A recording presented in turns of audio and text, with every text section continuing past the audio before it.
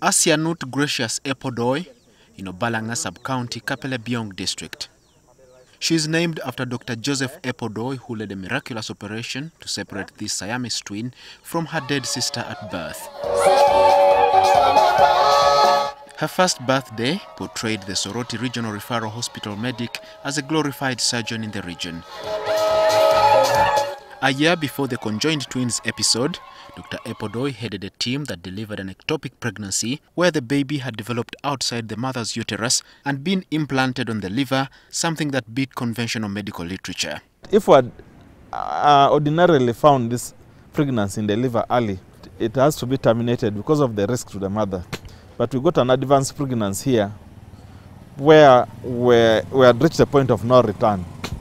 And that's what we had to do. But who is this man, Epodoi, who has had 20 years at Soroti Regional Referral Hospital and has worked in Teso sub-region all his career?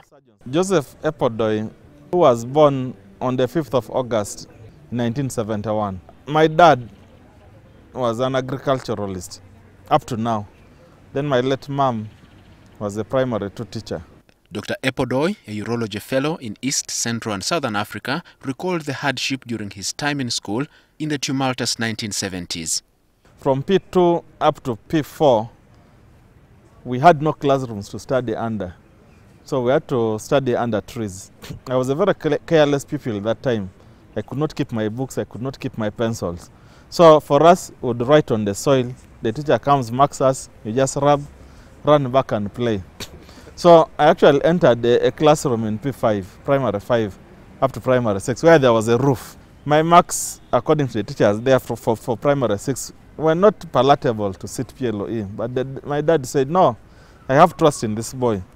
And actually got Division 1 that time. Unable to even raise additional fees to attend his dream secondary school, King's College Budo, on a government scholarship. It was just 10,000 shillings for school fees in King King's College Budo, which I did not have.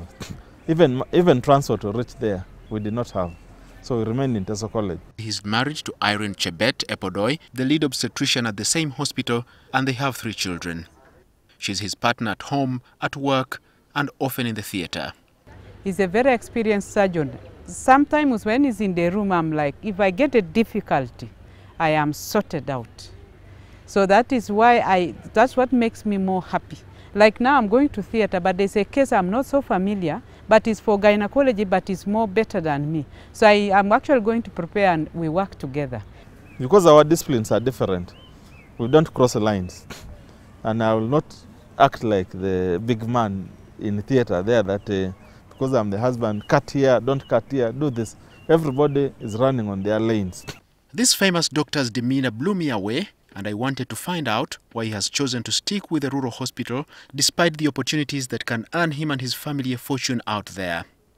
The philosophy of life, I've really studied and found that uh, you can make life anywhere, anytime, depending on what you want to be. Especially in Soroti here, what has helped me is uh, social capital.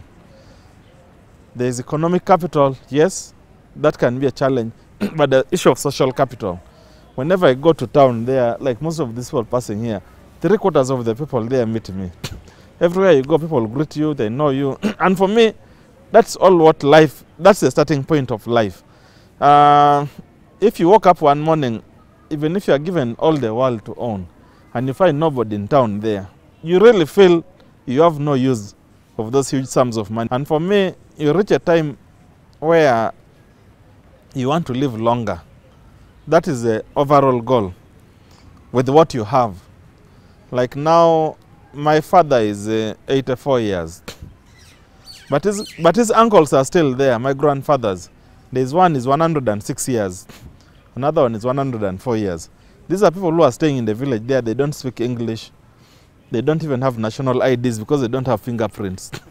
no one has ever given them a loan. Uh, they don't know what the interest rate is now in the local banks. So you can see that kind of life. Their life is purely natural. When, you get, when we get back natural with the little of this adulteration of globalization, you actually live longer. The doctor is the financial supporter of this surviving twin as he hopes for well-wishers to give a hand. A man with a big heart and humility that many of us could emulate. Edward Muhumza, NTV.